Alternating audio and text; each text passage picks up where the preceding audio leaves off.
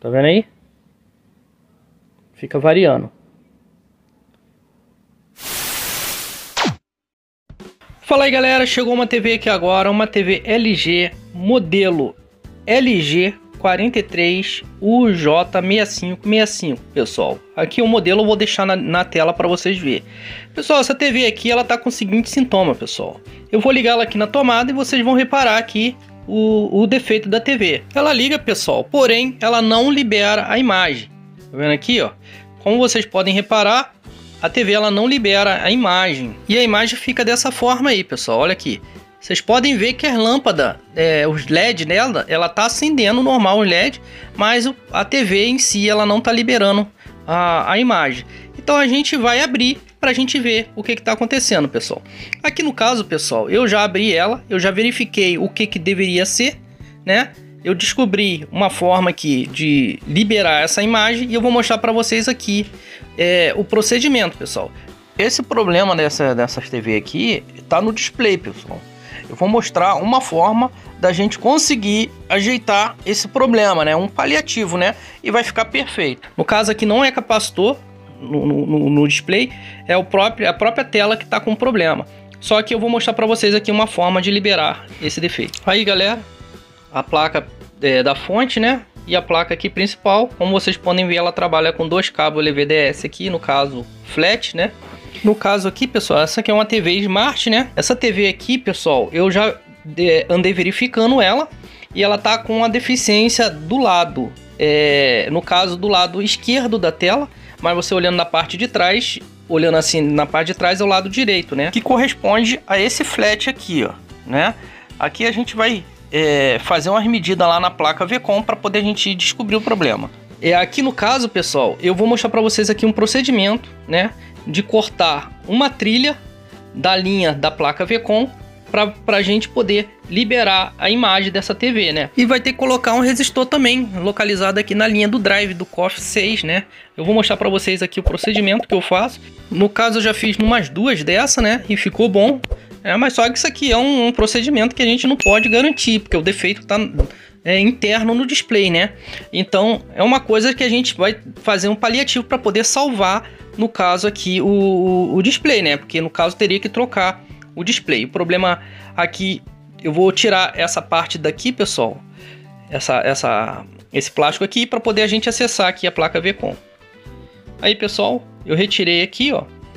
Vocês podem ver o problema aqui, no caso, tá desse lado aqui, ó. Eu não vou retirar desse outro lado.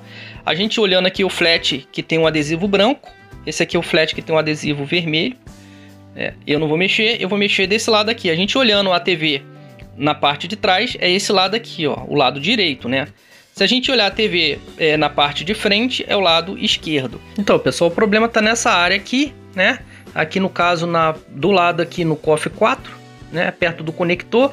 Eu vou posicionar a câmera aqui direito, vou pegar o multímetro para a gente medir para vocês verem. Então, pessoal, vou mostrar para vocês aqui é, o procedimento.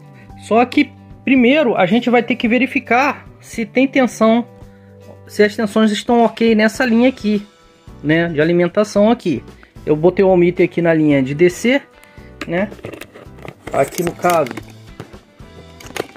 eu vou botar aqui, ó, deixa eu botar o foco aqui, aqui no caso tem o VGL, tá vendo, VGL1, VGL2 e o VGH, a gente tem que ver se as tensões estão ok aqui, né, eu vou colocar assim, né? Tem que colocar no ângulo, né? Que eu consiga pegar o multímetro também. Eu vou ligar a TV aqui e a gente vai verificar se tem essas tensões. Se essas tensões estiver ok, a gente pode é, continuar o procedimento. O multímetro aqui está sujo, mas a gente vai medir aqui. No caso, pessoal, aqui no primeiro passo eu vou medir aqui o VGH, vamos ver se tem 14 volts. Olha aí. 14, 15 volts negativo. Tá vendo aí? Tá ok. A gente vai medir aqui o VGL2. Vamos ver se tem 29 volts e tá variando. Olha aí. Tá vendo aí? Fica variando. Que aqui não tô encostando direito, peraí. Tá vendo aí? Pô, tá sujão o multímetro. E aqui a gente vai ver no VGH aqui. Olha aí, pessoal. Tem 5.9, né? E os demais também tem 5.9. Aqui no caso 5.9, se vocês ver, todos eles têm 5.9. Aqui, ó, 5.9. Deixa eu botar aqui, olha aí. 5.9. Então é isso, pessoal. A gente viu que não tem problema de alimentação aqui nessa linha. Eu também fiz as medidas aqui nos capacitores. Aqui no caso, próximo aos cofres aqui, ó. No caso aqui, fiz as medidas em todos os capacitores para ver se tinha algum encurto.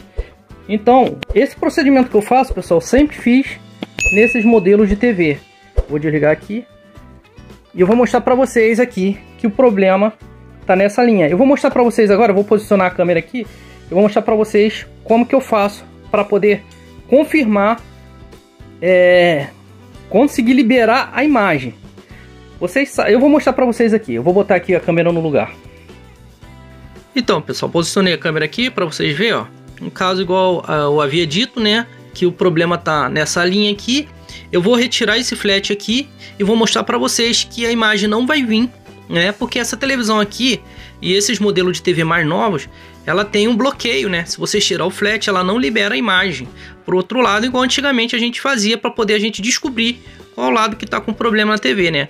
Antigamente a gente fazia simplesmente isso, pessoal. A gente tirava o flat, né? E ligava a TV e o lado que aparecia a imagem normal era porque aquele lado estava bom. E o lado que não aparecia e desse alguns riscos, ela estaria com um problema, né?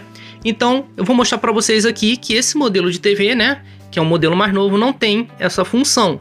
Ele tem, ele é bloqueado, né? E a gente tem como desbloquear, é, liberar esse aqui, ó, pessoal. Vou botar mais de perto. É, o nome aqui é Lookout 6, né? Deixa eu botar aqui para ver se vocês conseguem enxergar, ó. Lookout 6. Tá vendo? É um pino que tem aqui que esse no caso lookout, a tradução é bloqueio, né? E aqui do lado também tem o lookout também, no caso 3, né?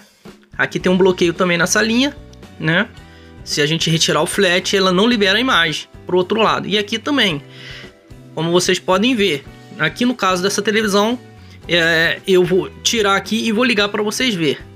Aqui, pessoal, eu vou mostrar que tem como a gente fazer é, desbloquear essa linha com a mão, né? Aqui nessa parte aqui, ó, não coloca a mão nessa parte, porque aqui tem uma voltagem mais alta um pouco e a umidade da mão pode danificar o flat. A gente vai colocar aqui, eu vou mostrar para vocês aqui mais de perto, tá vendo? Aqui no caso, pessoal, é 11, é 11 pino, né? Aqui no caso tá ruim de enxergar, ó, tá ruim de, de dar foco, né? Mas eu vou posicionar aqui direito para vocês verem, Olha aí, lookout 6, né? É o pino 11, se a gente contar é, da direita para a esquerda. É o pino 11, né? E aqui a gente vai ter que colocar. Eu vou liberar aqui, pessoal, manualmente aqui com a mão para vocês ver. Vou ficar com a mão aqui, vou ligar a TV e vocês vão ver que o outro lado vai liberar. Botar o coisa agora. A gente vai botar a mão aqui assim, ó. E a gente vai liberar o sinal com a mão. Eu vou ligar aqui para vocês verem. Ela vai ligar sozinha. Olha aí, pessoal. Não adianta, deixa eu posicionar aqui. A gente soltar o pino. Eu soltei o pino desse lado. Era para aparecer a imagem desse outro aqui. Só que olha aqui, eu vou liberar com a mão aqui nesse, nessa linha. Olha aí. Tá vendo aí, pessoal? Como que a gente consegue liberar com a mão? Olha lá. Tá vendo como é que tá perfeita a imagem desse lado? Perfeito. O problema... Aí agora liberou e ficou assim, né? O problema tá nesse lado aqui. Eu vou fazer isso no mesmo, no outro lado para vocês verem. Mas não, não, precisa, pessoal. O problema tá desse lado. Esse lado aqui não tá liberando, olha aí. Olha aí a imagem. Perfeita desse lado aí, sem linha, sem nada. O que, que eu vou fazer? Eu vou conectar aqui e vou mostrar para vocês. Aqui a gente vai ter que colocar um resistor de 1 mega nessa linha aqui e cortar esse essa alimentação aqui, ó esse lookout 6 aqui, tá vendo? a gente só vai cortar esse pino, somente esse pino e colocar um resistor, é, no caso de 1 mega. Olha aí, tá liberando a imagem. Tá vendo? Não coloca a mão desse lado aqui, porque aqui tem uma, uma voltagem mais alta e a umidade da mão pode danificar o flat. Só desse lado aqui, ó. Tá vendo? Aí. Pessoal, minha mão não tá úmida, não tá nada. É a, é a mão mesmo, normal, sem umidade, sem botar nada. Você pega com a mão normal, sem colocar a umidade na mão. Com a própria umidade é, da mão normal mesmo. Eu vou colocar aqui para vocês verem, ó. Aí, liberou o sinal. E o que, que eu vou fazer, pessoal? Vou encaixar aqui e já volto. Aí, pessoal, eu encaixei ele. E agora, desse lado aqui, não é, é nesse canto aqui, ó. Já oposto, tá vendo? Eu vou colocar aqui, vocês vão ver que não vai liberar, ó. Se eu coloco a mão aqui e não libera. Tá vendo? Porque o problema tá desse lado aqui, ó. Não tá desse, né? Olha aí. Se eu colocar a mão aqui, desse lado aqui, aqui no caso, é o lado que recebe alimentação para aqui para a placa do, do display aqui no caso. Tá vendo aqui? Aqui nada. O que, que eu vou fazer, pessoal? Eu vou encaixar de volta e a gente vai fazer o procedimento de cortar aqui. Então, galera, tô aqui agora com a parte de baixo do flat. Aqui, esse flat de cima aqui, ó, ele corresponde, você olhando a TV de frente ao lado esquerdo mas você olhando ela disposta assim do jeito que tá, é o lado direito, né? É esse flat aqui. Aqui tem um pino, como eu havia falado, é, lockout, né?